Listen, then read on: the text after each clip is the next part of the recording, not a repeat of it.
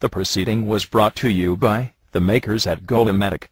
Bright lies for dark truths.